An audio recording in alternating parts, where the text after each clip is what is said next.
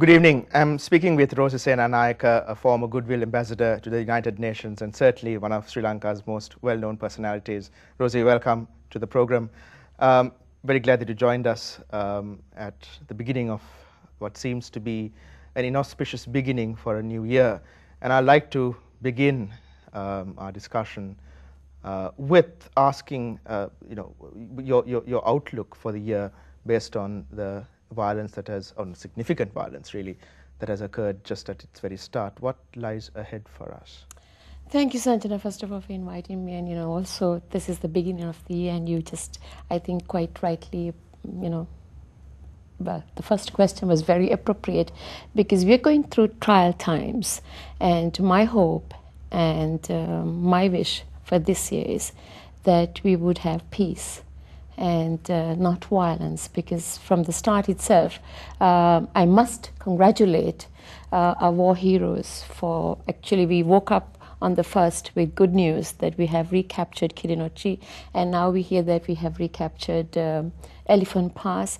And uh, I have to commend the soldiers from the bottom of my heart mm. for laying their lives down. We've lost so many uh, at the cost of you know losing their lives. They are up there fighting to protect us. But unfortunately, we down here cannot even celebrate this victory because there's so much violence happening down here as well that we don't know what to believe and what to, you know. Uh, I mean, I, I, cannot comprehend what's happening right now. So, uh, my only hope and prayer, prayer is that we eradicate terrorism totally from this nation mm. Mm. and look forward to a very peaceful country where we would live in uh, peace and harmony because we are a multi ethnic, multi religious society. Mm. And uh, we need to be sensitive to the needs of other nationalities, mm. other cultures, other uh, religious uh, sectors, and to be able to be very respectful. But practically, how would, how, would you, how would you ensure that that, that, that occurs? Uh, you think that polity and society in the South is, is, is, is open to that kind of idea? Uh, it's I, I strongly believe that it has to start with you know we need to change our mindsets and the attitude towards life itself mm. and towards uh, how we resolve problems or resolve uh, you know whatever uh, challenges that may come our way how mm. do we face them well one of the ways in which the population might actually I mean they would agree with you but also say that at the end of the day violence is a means to get to where you are suggesting. Peace.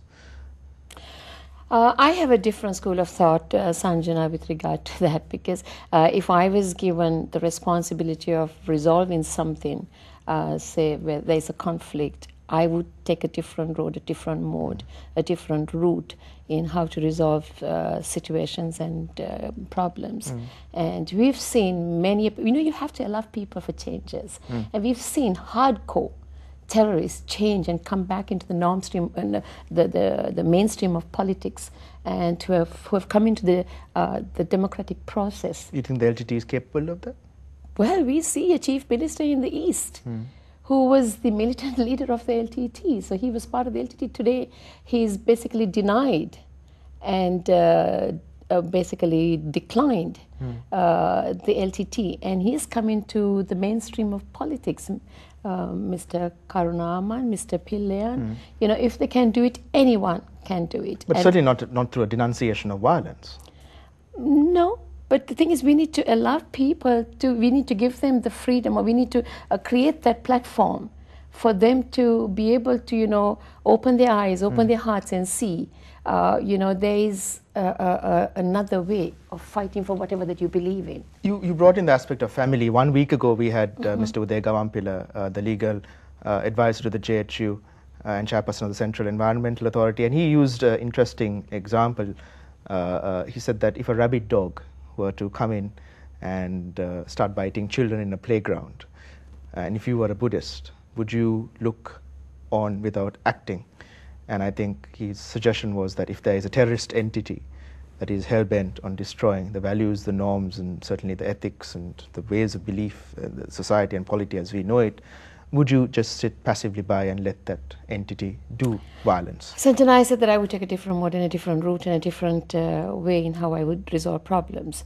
We live in a civilized society. we're not talking about animals and humans, if we're talking about human beings. Mm.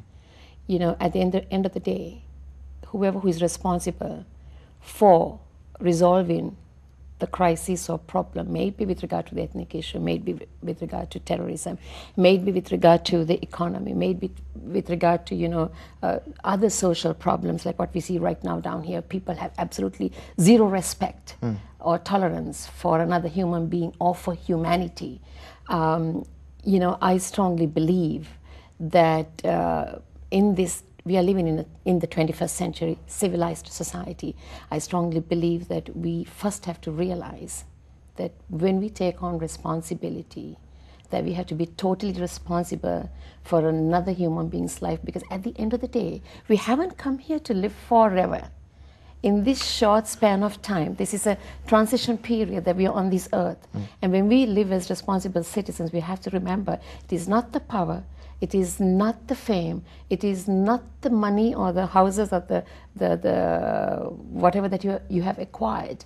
Uh, you know, the academic qualifications, the uh, basically the cars, the wealth, the jewelry. That's not what you take when you go. All what you take is what you have done for humanity and whether you have stood justly Or leave behind society. is it could be the better argument in a sense, your legacy. Abso- Uh, what absolutely. would what what So I, I strongly believe that we, because I see a deterioration in the value system, in the way people look at uh, humanity, and also in the way people look at situations and how they, the kind of uh, the the methods they would take